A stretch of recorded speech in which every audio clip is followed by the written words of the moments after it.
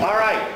Well, this is awesome to see all of you here. When I uh, was asked to come and give a talk today, and I proposed something about bats, because there's a lot of very interesting things going on in the bat world right now, you're never quite sure who's going to show up. You might get one person, you might get a hundred people. Because bats are kind of one of these species that is a love-hate relationship with these animals, and there's a lot of misunderstanding about these animals. I can remember when I was a kid that my grandmother would come home, uh, she'd walk home from the, the beauty salon, and she would tell me, well, bats were uh, surrounding my head, because of all the stuff they sprayed on my hair. Well, it wasn't until I got a little bit older and became a wildlife biologist that I realized my grandmother was bat guano crazy and didn't really fully understand it wasn't bats, for one thing, and it wasn't around her hair. So we're going to talk about bats as we wander our way through this next hour. Um, and there's a lot of, as I mentioned, a lot of things going on with bats right now, especially the northern long-eared bats. We'll focus a lot of the, the uh, presentation on that as well, but we'll also give you kind of a, a bigger, broader view of bats so that hopefully you'll leave here with a little bit more knowledge than you came and a better understanding about what's going on with uh, the long-eared bat and the Endangered Species Act from the perspective of a forest landowner. All right, so with that being said, uh, my name is David Drake, and I'm an extension wildlife specialist and an associate professor in the Department of Forest and Wildlife Ecology at UW-Madison. And I'm actually on the wildlife side. Uh, I don't know what the heck my forestry colleagues are doing, and I don't really care what they're doing too much. But So I'm on the good side of the department, on the wildlife side of the department. Okay? All right.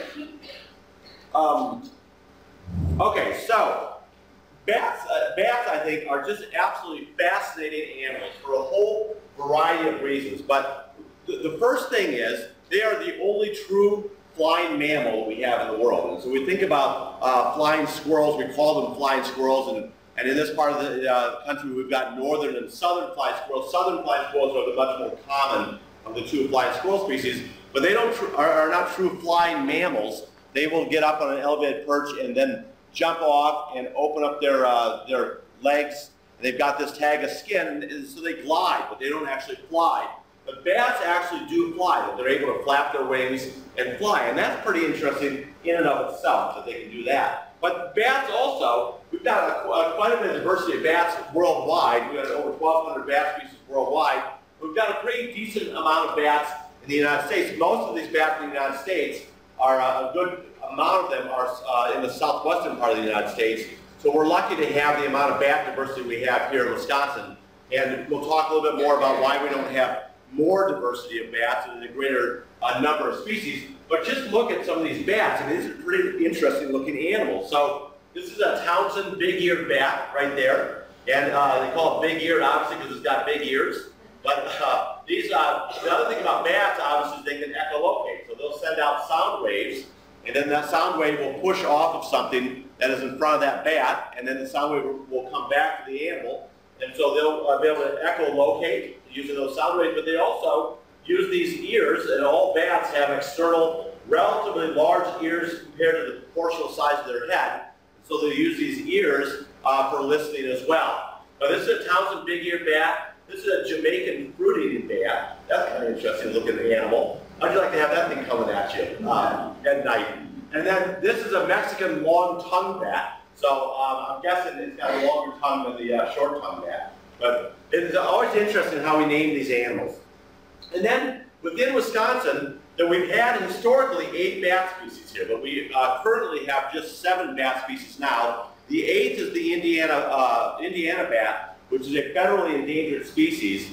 And it, it historically, its range did push up into the very southern part of, of Wisconsin. So where we are now, historically, the Indiana bat would have been found in this part of Wisconsin, uh, but not any further north. And then the other issue about the, the uh, Indiana bat is that it has not been recorded here in Wisconsin since the early 1960s. So for all extents and purposes, it is an extirpated species of bat, even though it is still uh, active uh, into uh, Illinois and Iowa and Indiana, and, and then as you go east as well. But for Wisconsin, that bat is no longer found here in Wisconsin. So we talk about, really, we've got seven species of bats, and then we, we um, kind of group them a, a, couple of different ways. But one of the ways we think about bats are as resident bats or migratory bats. And one of the reasons we don't have more than seven bat species, it's kind of amazing we've got even this many, is that we live a good distance above the freeze line. And bats are insectivores, so that's what they primarily eat is insects. And if uh, obviously the insects are not out in the winter time.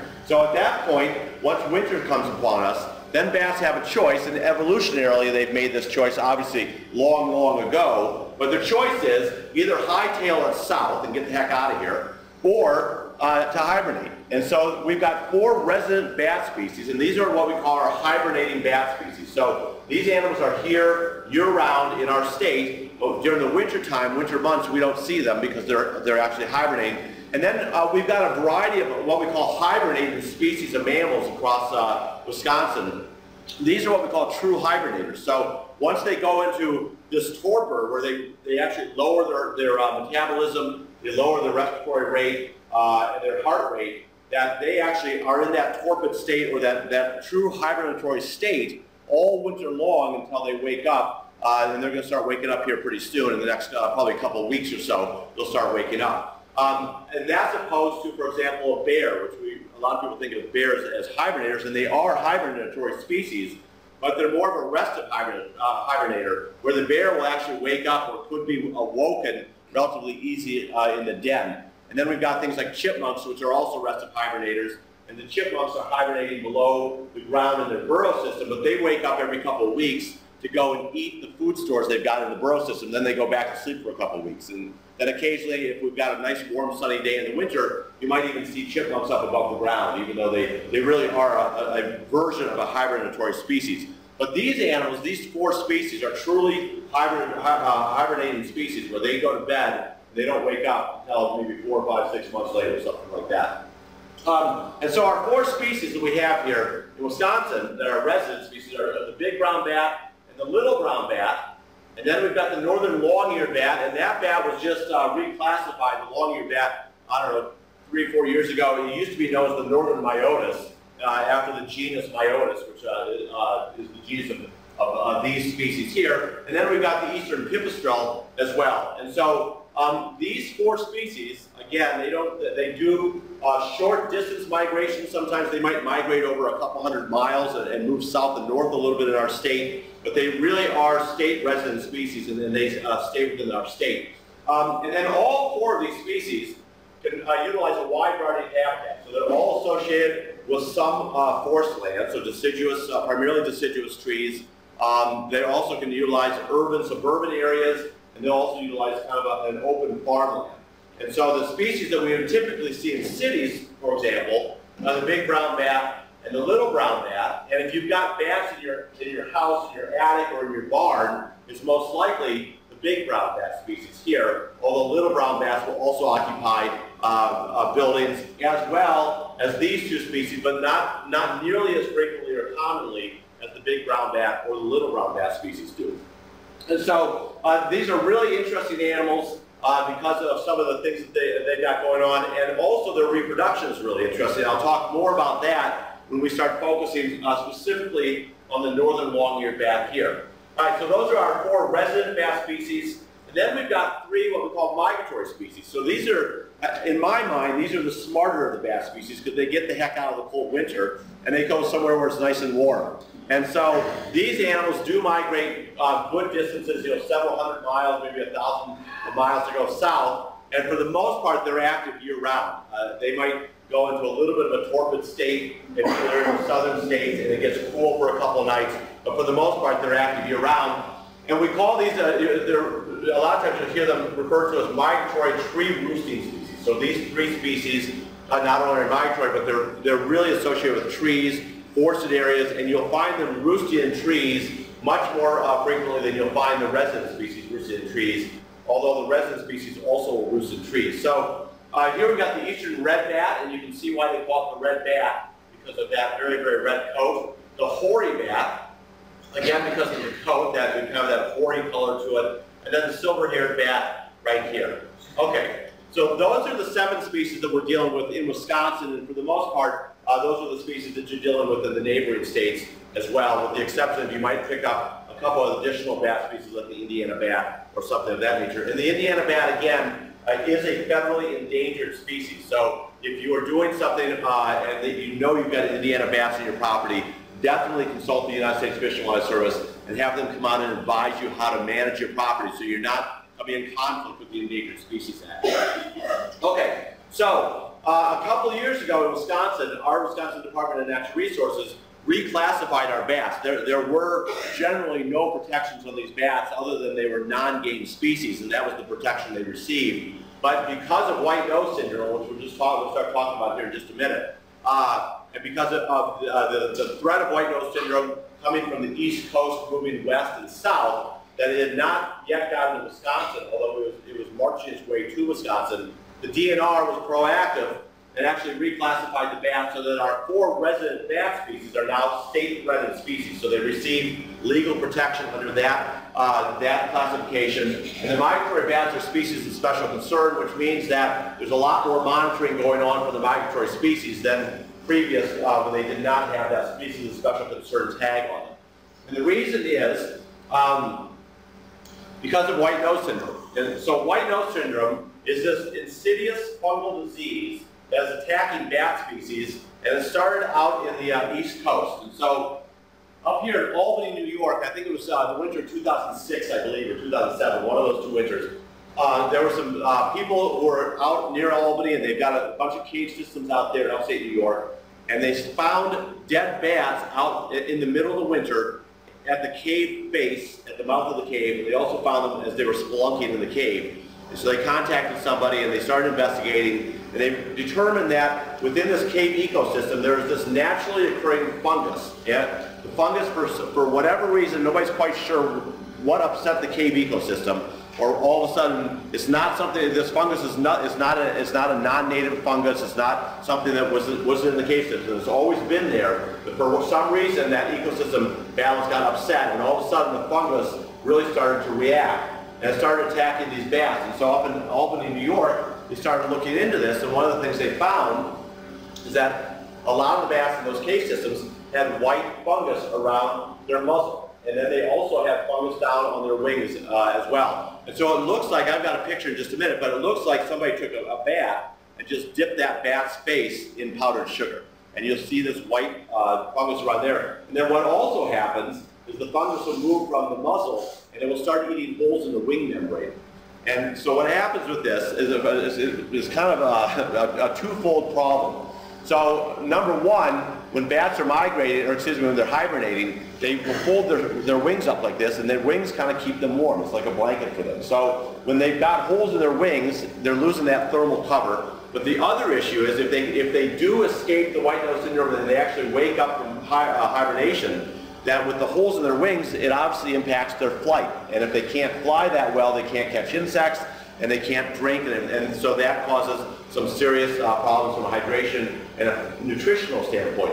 But the other issue with white nose syndrome that seems to be occurring is that when the animals are attacked with white nose syndrome, this fungus, that it causes them to wake up uh, in, in mid-hibernation.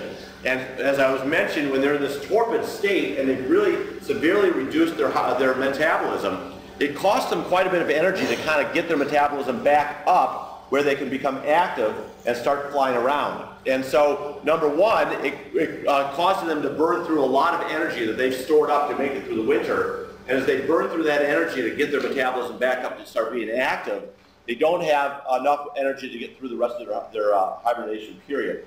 And then the other issue is obviously when they wake up in the middle of the winter, they're disoriented, and so that's what caused them to fly out of the cave. And so sometimes you'll find them at the mouth of the cave in the midwinter, and they're dead down in the snow simply because they're disoriented. But they also get severely dehydrated. It's the dehydration that is, uh, kills them as much as anything else. And so um, white nose syndrome was first found in Albany, and they weren't quite sure what it was.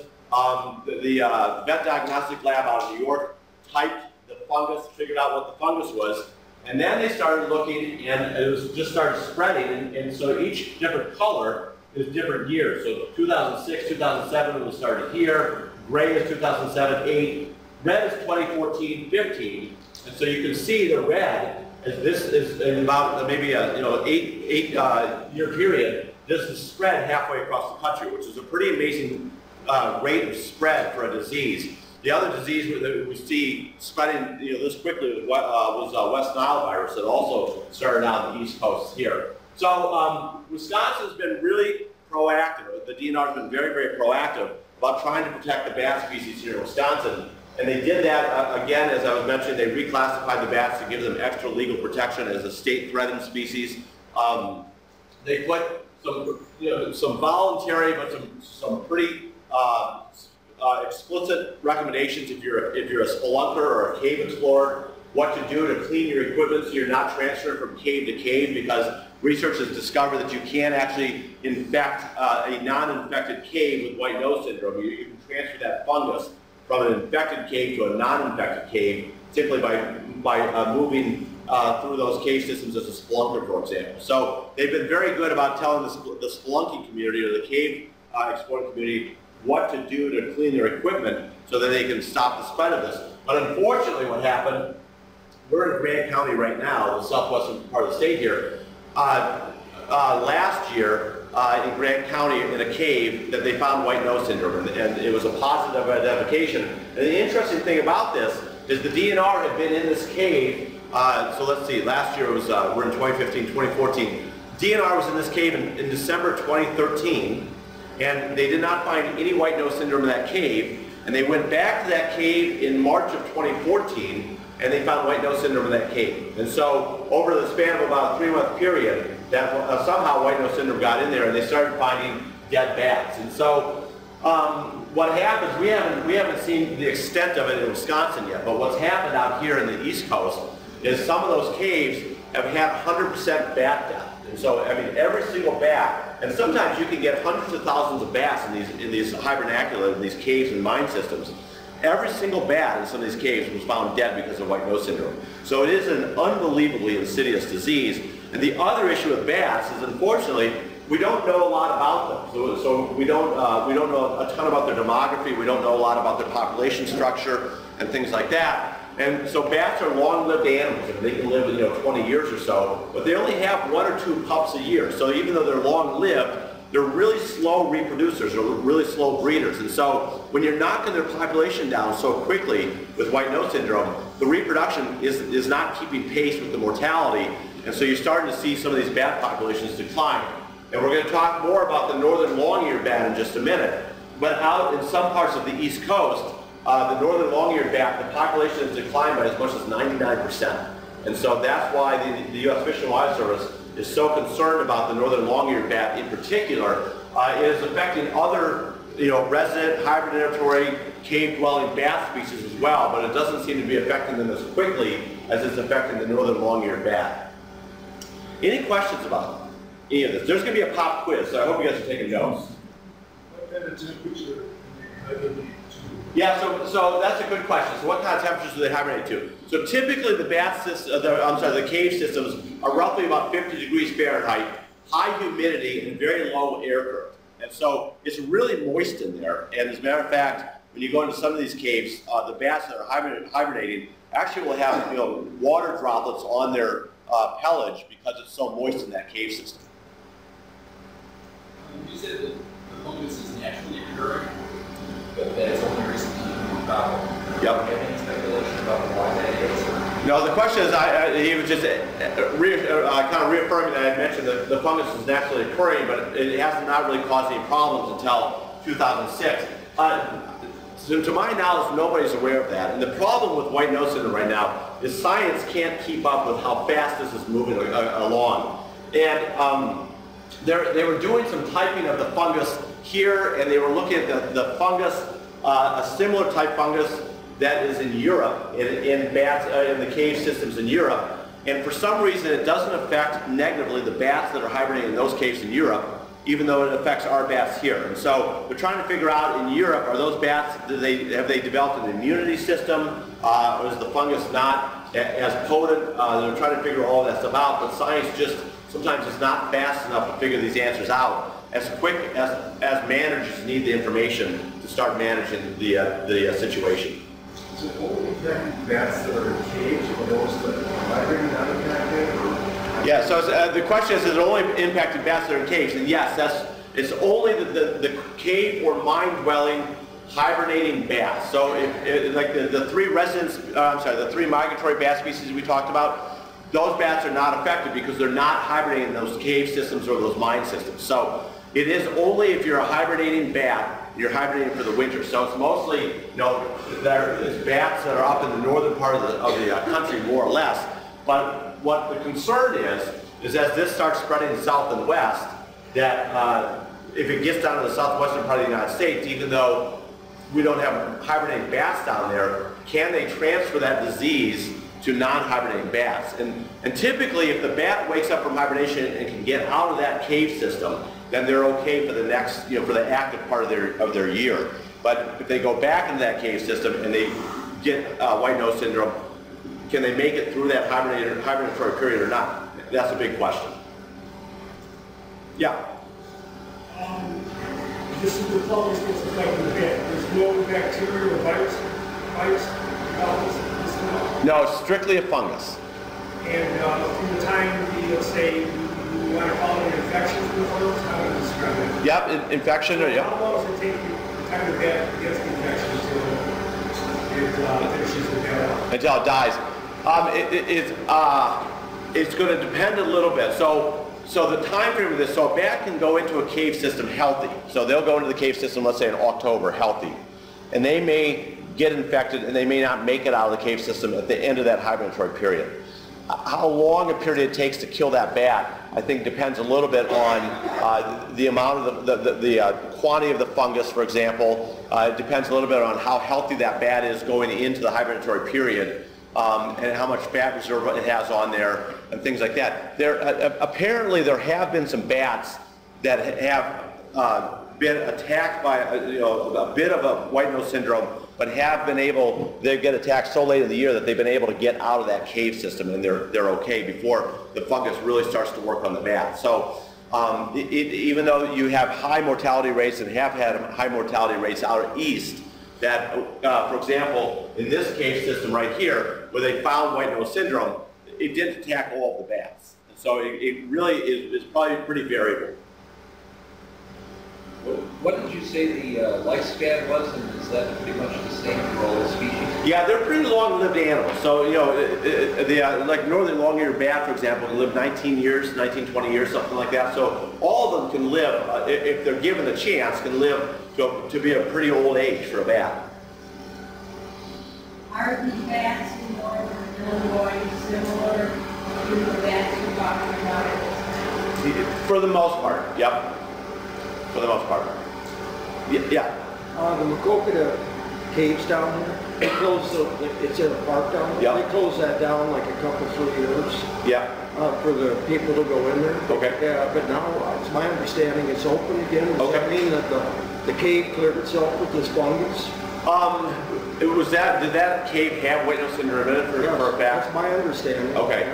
Yeah, um, I don't know why they would close it and but why they would reopen it then, uh, for that. And I'm, because typically they're, they're looking at ways to, to rid caves of the white nose syndrome, but so far they haven't found anything. And the cave ecosystem is, is pretty delicate. And so the concern is if you go in there and you start meddling, you might make it even worse than it is already, even though white nose syndrome is in there. So, and, and then th- there's some issues where they have closed off caves, but then uh, when they put, they'll put gates up so people can't get into the cave, but then that changes the airflow of the cave. And so that then affects the humidity, for example, or maybe it increases the airflow, and the bats don't like, you know, strong air currents coming through the cave. So maybe there was something that, that affected the cave ecosystem that caused them to take the gates down. So I'm not exactly sure about that specific cave, why they did that. Did the caves ever clear themselves up? I'm not aware that they, that, of that yet, but they're still studying that. Yeah. Yeah, So it doesn't appear to affect humans. Not yet. No, and hopefully it won't, but hopefully it won't. Let's see, I- yeah, I'll come back to you in just a second. Are the bats, do they, are they hibernating tracking to the same days? Yeah, a lot of times they'll go back to the same cave. Yep, they sure will. And so they're, you know, they kind of will go into these big roosting areas and they'll just kind of follow each other as they go in there. And then, you know, one of the things you do if you want to um, start a bat house, for example, you don't have bats there, is put uh, bat feces or bat guano in the bat house, and then they'll, they'll, uh, that keys them into that area. And so one of the things in these caves, there's just um, giant amounts of guano, as you can imagine, on the floor. And so it's a big, you know, signal to come into this cave. Yeah. Uh, my neighbor had hundred and ten bats in his attic crawl space. Is that considered like a cave? No, so that's a, and was it during the winter or during the summer? Uh, all I know is he his wife would stand outside and count the bats. Yeah. And finally hit bat. Yep. Yep. So if, if they were watching them, so that was during the active period, so it was during the warmer months. And so uh, what, so some of these species will uh, go into these large maternal roosts. So when they're actually having pups, sometimes you can get hundreds and thousands of bats in a, in a maternal roost where they're all taking care of these pups uh, kind of uh, communally. Yeah, so it might have been a maternal roost in that, in their attic as well. So, and in some, you know, older uh, barns and, and houses that have settled, the bats only need about five eighths of an inch of a gap to get in someplace. And so it can really be hard in houses or buildings that have settled. You've got so many gaps to keep them actually out of the building. Yeah. How are bats born? How are they born? They're live born. It's a live, live Like birth. babies, Yep. So they're mammals, so it's a live birth, and they're you know warm-blooded. they're nursed. Yep, they're nursed. Yep, absolutely. Absolutely. Yep, and I'll talk more about the reproduction. It's actually really pretty cool in just a second. Yeah. Go ahead. No, I just, I, I'm just going to check the time to make sure I'm not getting us distracted here. Go on. They have nuts, where they, they, uh, where they have the. Well, they'll, they'll typically go, uh, some species will go back into a cave or a mine system for the summer know, to roost. Sometimes uh, they might go into a building, uh, like for example, the big brown bat might go to the building. Sometimes they'll go uh, into trees that have very uh, deep bark crevices, and they'll, they'll uh, go there. Sometimes they'll go up into the tree and, and roost up that way. So, yeah, it, it can vary depending on the species. They go back every year. so- What's that? They go back, I got a house in Hayward, they come back every year, to same place. Yeah, so he said they've got a house in Hayward, you have a house in Hayward. Yeah. And they come back to the same place, and yes, that's absolutely true. Yep, and so the, the, you know, the, uh, the exact same bat, you know, so, so bat Joe Smith might not be back to your exact house, but they come back to that general area for sure. There's no doubt. And, and Joe Smith might be back to your house, you know, bat Joe Smith might be back to your house as well, so, that's right. Okay, so, so you can just, uh, and if you want to follow this along, if you just Google white nose syndrome, you can see this, and this map will get updated because uh, they're in the, uh, the, the uh, DNR of- across the country are in caves right now and have been through the winter monitoring for white nose syndrome. So now we're starting to get out of the hibernatory period, and this map will get updated here probably by, by summer. It'll be updated. So hopefully um, you can see here, uh, they found it here again. Hopefully it's not going to start spreading. The, the, the uh, good and bad news about it being found in Grant County is, is, I guess, sort of the good news is you're in a remote corner of the state, so it's going to take a while to radiate out across the state. The bad news is that there's a, a really extensive cave system down here in Grant County, and there's a lot of bats down here. And so, since it's here, it, it probably is going to spread pretty quickly through the county and through the, uh, that other uh, cave system. But nobody knows about that. That's kind of what everybody's watching is how fast this spreads, not only in Wisconsin, but across the country. Okay, so that's kind of the background. So now we're going to talk strictly about the long-eared bat, the northern long-eared bat, okay? And um, this bat, as I mentioned, is uh, being considered for listing under the Endangered Species Act. And the reason is because out east, 99%, as I mentioned, about 99% of the population has decimated, been decimated by white nose syndrome. And so the endangered, or, uh, I'm sorry, the United States Fish and Wildlife Service is, is closely watching this. And As you can see, this is the range of the northern long-eared bat, and that bat range completely overlaps with white nose syndrome is. So this bat is, is especially susceptible, or seems to be especially susceptible to white nose syndrome, partly because, uh, for whatever reason, it seems to be susceptible, but also because its range overlaps where, where, where uh, white nose syndrome is and where it seems to be spreading. And so the Fish and Wildlife Service is, is uh, starting to take a very careful look at um, the long-eared bat in particular because of that. So here's, uh, here's what white nose syndrome looks like. And you can see, as I mentioned, it looks like somebody just took a bat and, and just, you know, dipped its face in, in powdered sugar. That's kind of what it looks like. If you have, um, if you have bats in your, in your attic, for example, uh, it, it is recommended that you, you look and see if you can, if uh, bats have this kind of a, a, a pattern on their face. Um, to my knowledge, I'm not aware of any accounts where uh, bats have been found with white nose syndrome uh, uh, hibernating in people's attics and things like that. It seems to be strictly uh, isolated cave and mine systems right now. But you should still keep an eye on this if you've got bats uh, that you can observe and just let the, somebody in, in your state DNR know or Fish and Wildlife Service know, and they'll come out and take a look at this. And again, it's, it's strictly during the winter time. Once the bats are out and active, it would be really, really unusual to see this on that bat, okay? So it's strictly during the winter time that you're, uh, you want to be most observant about it. But this is what it looks like, and as I mentioned, we'll get out on the radius here, and it starts eating holes through the wing membrane, and, and then uh, that is more or less doomed the bat once that occurs. All right, so a little, uh, just a little bit of an ecology about the long-eared bat. Um, so, uh, as I mentioned, the genus is Myotis, which means mouse ear. Kind of, I guess that looks a little bit like a mouse ear. And uh, northern long-eared bats seem to be most confused with little brown bats right here. Uh, even, even though little brown bats, uh, their pelage is a little bit darker than here. But, and I hate to show this picture because it makes this bat look mean, and these bats are not necessarily mean. So I, I don't want to uh, give the wrong impression here. But this is one of the best pictures I can find that kind of demonstrate some of the things I wanted to point out. So one thing about the northern long-eared bat is compared to, and again, this is, these are the two bats you're gonna, you're gonna confuse most commonly. So compared to the little brown bat, the northern long-eared bat, the face is much more pink, for example. Um, and one thing you're gonna look at on the ear is the northern long ear, so it's a, it's a long ear. But if you're just looking at one bat and you see a long ear, there's no, there's no context to that. So, you know, everything's relative. So what you're looking at is this uh, little piece of skin called the tragus. And as you can see, it's this, this uh, triangular piece right here. So the tragus on the little brown, I'm sorry, I'm sorry, on the long-eared bat is much thinner and taller than it is on the little brown bat. And on the little brown bat, that tragus also uh, tends to lean forward a little bit, okay? So this is a little bit like uh, telling you, well, uh, it, it, it might be a venomous snake. You need to get close enough to that snake to see if it's got an elliptical eye or a round eye, okay? But, but that's kind of what you're looking for. And you might want to get binoculars out, or if the animal is hibernating, obviously, or roosting, uh, it'll be easy to come up and see that because the animal's not moving at that particular time. But uh, those are the couple of, characteristics you're looking for to see, determine if you've got long-eared bats on your property or, or near you.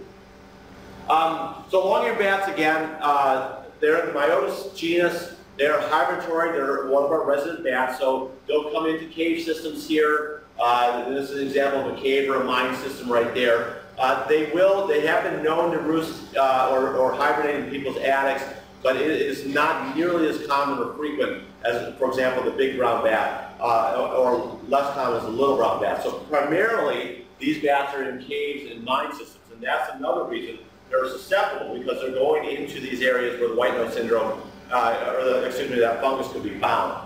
And then once they come out of the uh, hibernatory, period, then they uh, kind of hang out in trees. So they'll hang out in snags, these dead trees. They'll use these cavities right here. Um, this is a, a, hickory, so they'll hang out underneath this bark or within that bark system there. Um, and then they also go into rock crevices. Uh, so typically you find them uh, singularly or in small numbers. They don't get into these large maternal roost colonies like some of the other bat species do. Um, and so you'll usually find them in, in kind of single numbers and, things like this.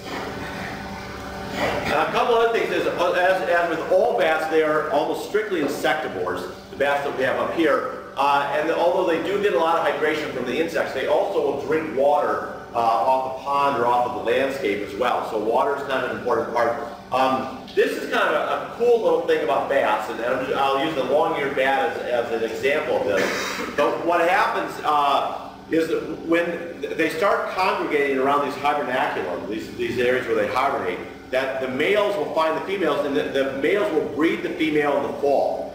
And then she will have delayed uh, implantation or delayed fertilization. So she will get bred by the male, and then she'll go into the hibernation. And then when she comes out of hibernation, then she'll, uh, actually the sperm will then fertilize the egg, and then come May, they'll start having the pups, and usually they have maybe one or two pups. So even though she gets bred in the fall, nothing happens until the spring. And so kind of, that's kind of an interesting thing about bass, and that's one of their reproductive strategies. And as I mentioned, they're long-lived.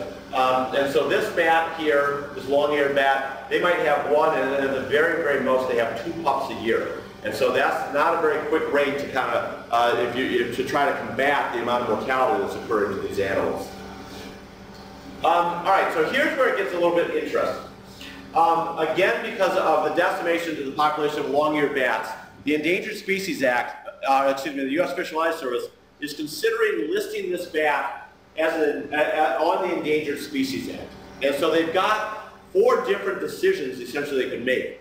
They could list it as an endangered species, and endangered means that within uh, uh, most or all of that animal's range, the animal is in, uh, in danger of going extinct. Okay, so that's endangered.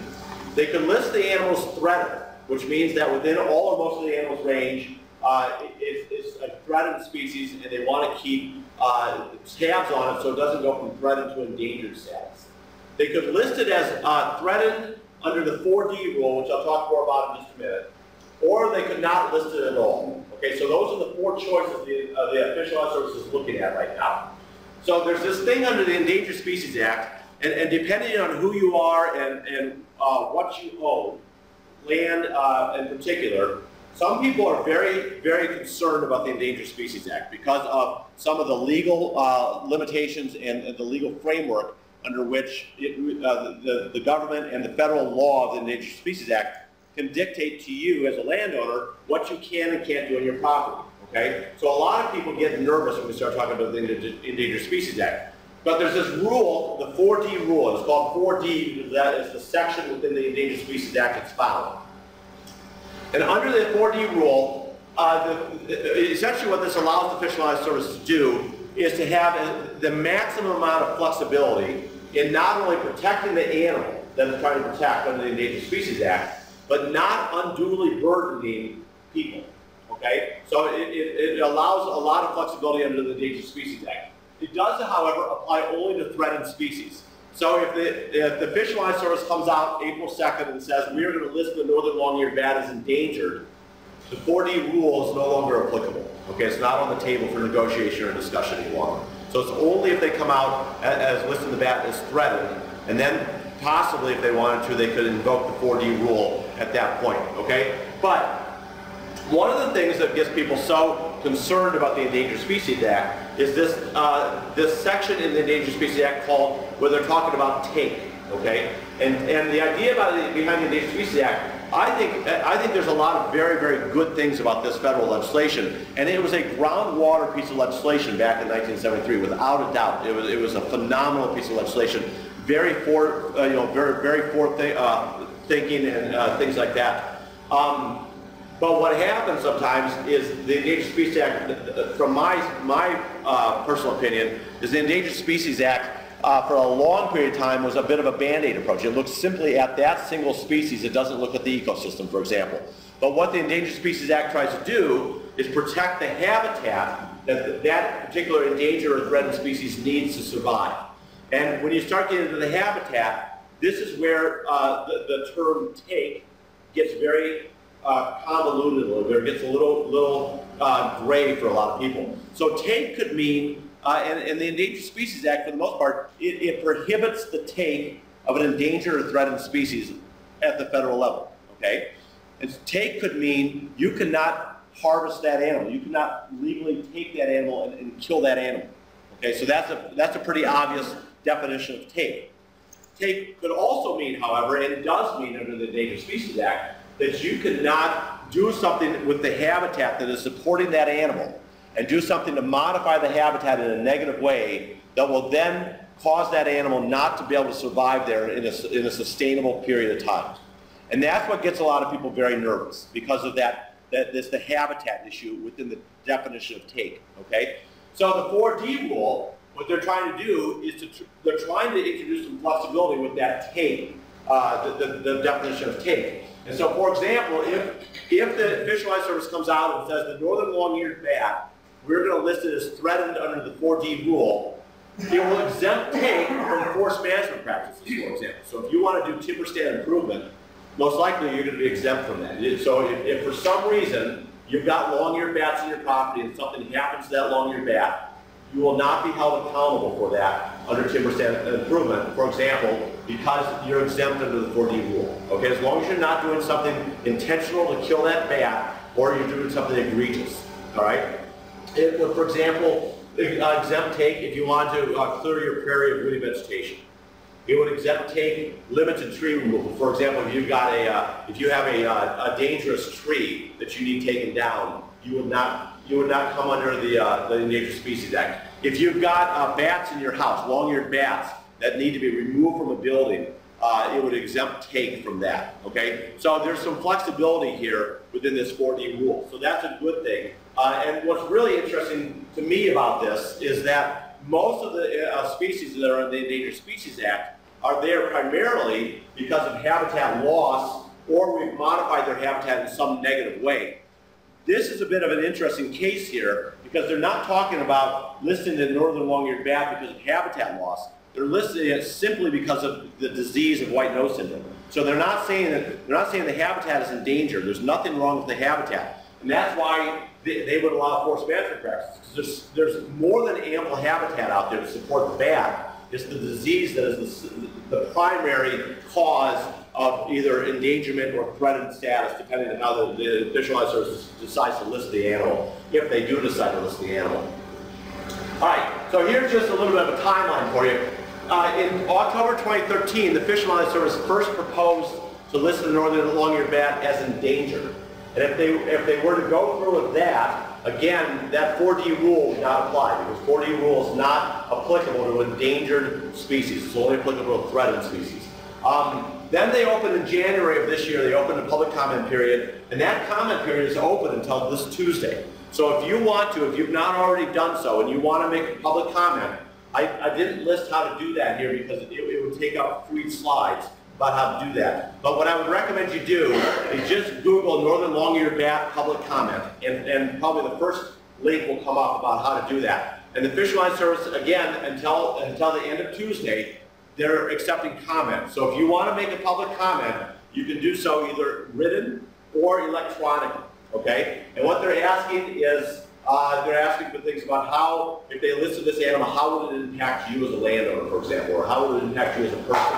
Um, they're also asking for information about the long-eared bat. So if you have uh, information that you could share that would help the Fish and Wildlife Service manage the species, um, please share that as well, okay? And then a final decision, again, is expected April 2nd of this year. So in, in less than a month, they're going to have a final decision here, supposedly. Now, things uh, don't always work uh, as they're supposed to along that timeline, so it would surprise me if they don't have the federal decision by April 2nd. But, but sometime this year, they should have a federal decision for sure. And again, the four choices are, they're looking at endangered status, threatened status, threatened under the 4D rule, or not listing the bat at all. And I'm guessing, I don't, I don't know what they're going to do, but I'm guessing that not listing the bat is, is probably a, a pretty uh, slim probability because of the decimation to the bat population. So it's going to be threatened under 4D, threatened or endangered is what's actually going to happen. So uh, keep your eye open for that. Okay, so um, any questions about this? Um, so this just applies to the northern, um, uh, long-eared bat, and not like the big brown that often. Nope, it's just right now that they're only looking at the northern long-eared bat right now. Yep.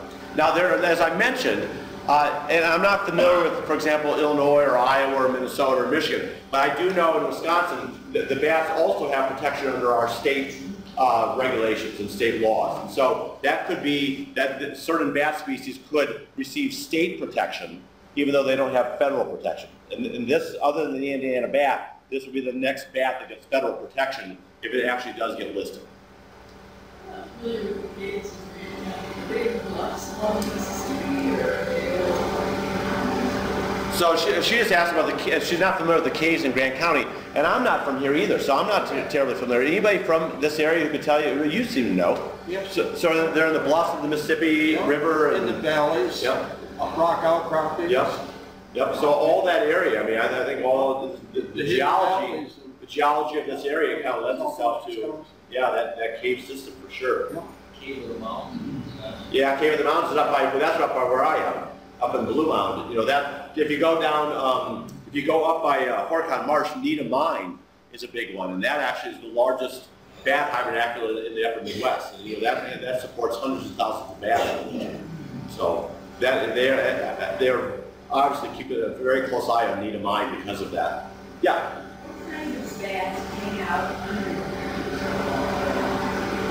What kind of bats hang out under? Of the bridges? Is most likely one of the resident bat species we have. So, and most likely probably either the brown or little brown bat, big brown or little brown bat, because they are, uh, although all seven of the bat species can be associated with urban suburban landscapes, uh, it, it typically seems like the big brown bat and the little brown bat are the ones that are mostly associated with that urban suburban landscape. Although it could be the long-eared bat, it could be the eastern pipistrelle as well. So, um, look at the tragus. Remember the tragus?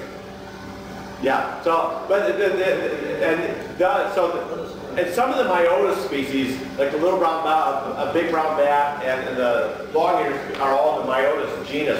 Those Myotis bats sometimes are hard to tell the difference between them. Uh, and sometimes you have to actually look at the dentition of the bat, uh, the, the teeth. So it, it, it might be difficult to tell necessarily about that spe- uh, species, depending on what the species is. The scare of uh, rabies, is that overstated? Or is that, I think it was, Yeah, so the, he was just asking the scare of rabies, is that overstated? Um, so, so bats, uh, as wonderful as they are, they can get you sick. And, and so if you are cleaning out an attic and there's a lot of guano, for example, you should wear or at least some kind of respiratory mask uh, because there, as you clean out their feces, um, the, the histoplasmosis can get in your lung and make you sick, for I example. thought there was value to that. There's value to guano, as a, there's definitely value to guano as a soil additive or, or, or uh, you know, as a, as a, uh, a material to help grow things.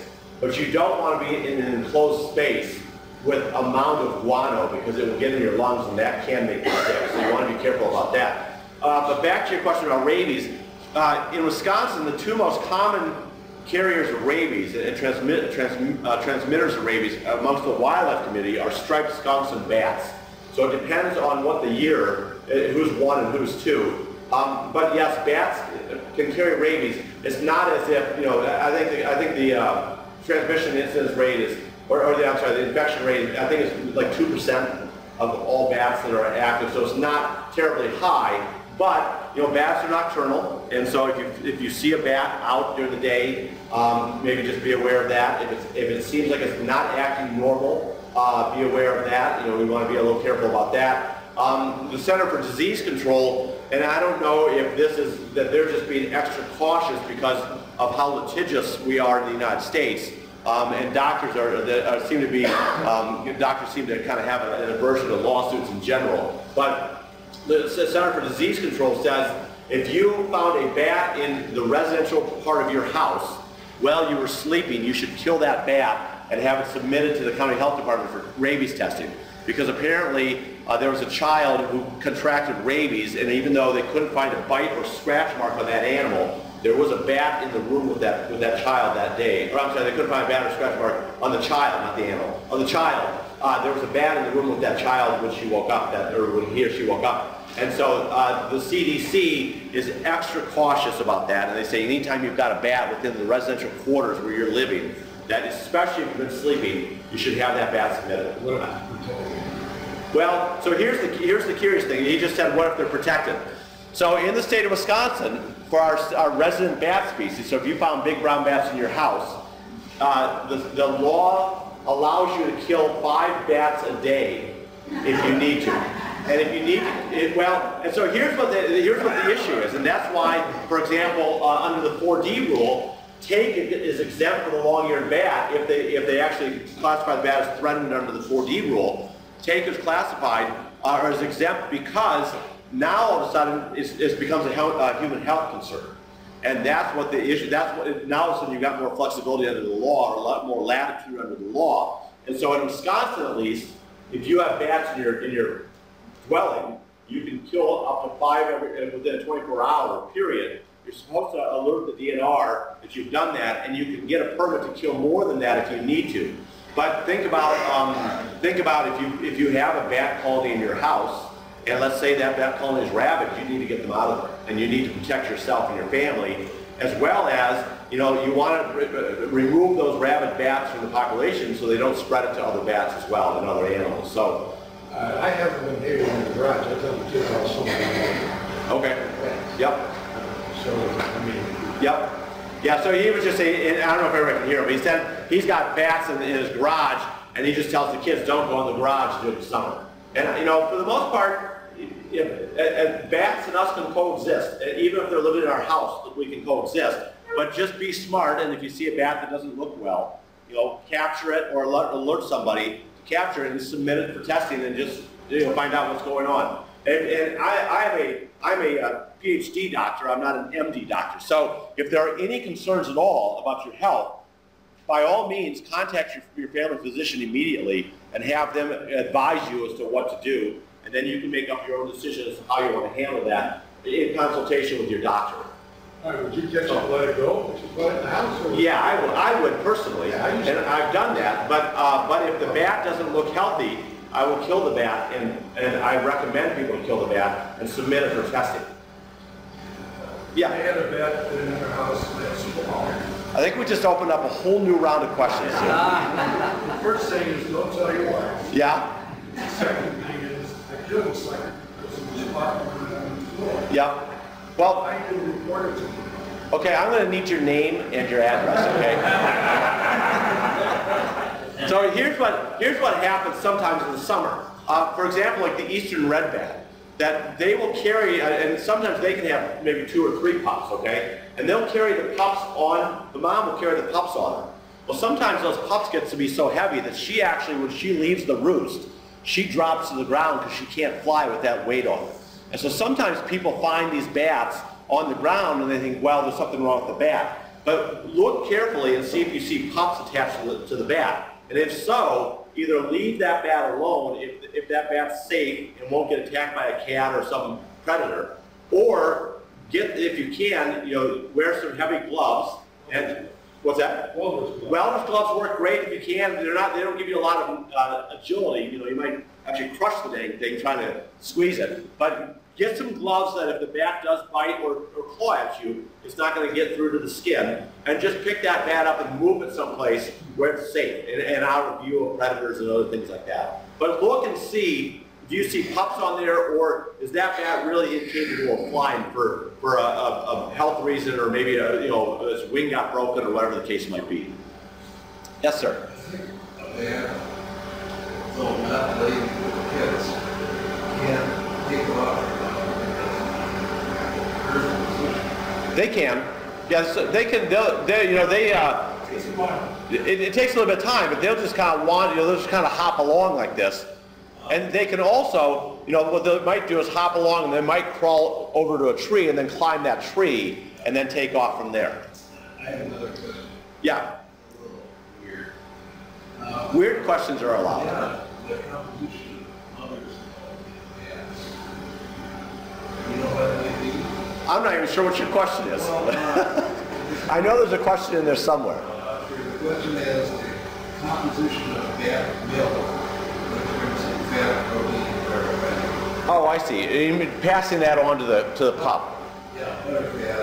Yeah. I don't know what the content is, but I'm guessing it's, it's like any other mammal who is nursing, that, that that they're passing on uh, immunity to the young. They, you know, it's very high uh, caloric content to, get- to get that young to grow very quickly.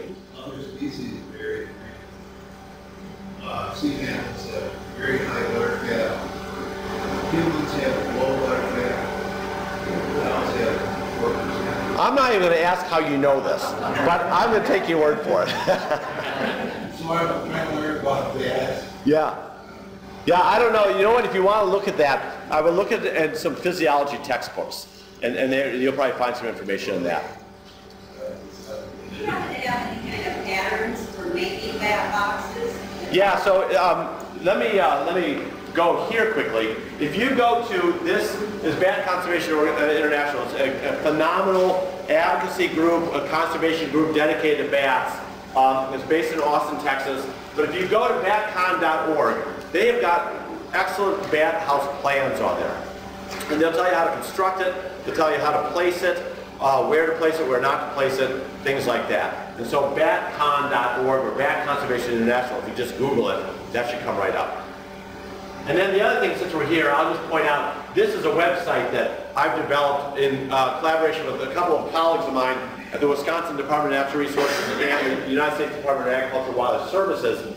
And uh, this is primarily dedicated to wildlife damage, and we do have a fact sheet on bats here. And, and part of that fact sheet, we talk about uh, the, the history of the bat, uh, uh, I'm sorry, the ecology of bats, some of the life history of them. We do have uh, pictures and, and identifying marks on those, uh, the eight bats that uh, at one time called Wisconsin Home. And then we talk a lot about if you've got a bat in your, in your attic or if you've got problems with bats, here are some uh, ways to manage the damage situation to uh, avoid further problems. So you can look at that as well.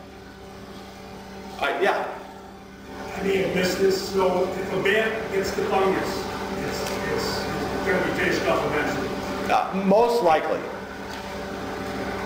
Yeah, most likely. Yeah. Well, I'm sorry, what? The resident bats? Did you say do, do the, oh, I'm sorry, the long-eared bats? Yeah, yeah, they will. Yep, they, they will, uh, maybe not as much as, for example, uh, like the big brown or little brown bat, that, because those bats are more uh, communal, and the uh, long-eared bat is more of a singular, you know, they don't, they don't hang out in large numbers so much. So, and, and they really are much more of, uh, the long-eared bat likes crevices, uh, you know, inside the bark of trees or crevices in rocks or something like that. So that's kind of where you typically find them. And again, they're much more singular than uh, some of the other bat species. So bat houses are phenomenal put up, and, and they're, they're great additional provisional habitat. Um, but not every bat species will always use them. Let me go there, since I don't think you've asked a question before, and then I'll come back to you. Um, primarily for the summer. They don't provide enough thermal cover, uh, especially up this far north, where the, the animals will hibernate in the bat box. But they'll use them for summer for uh, daytime roosting, for example. Um, that, there, and then I'll come back this way.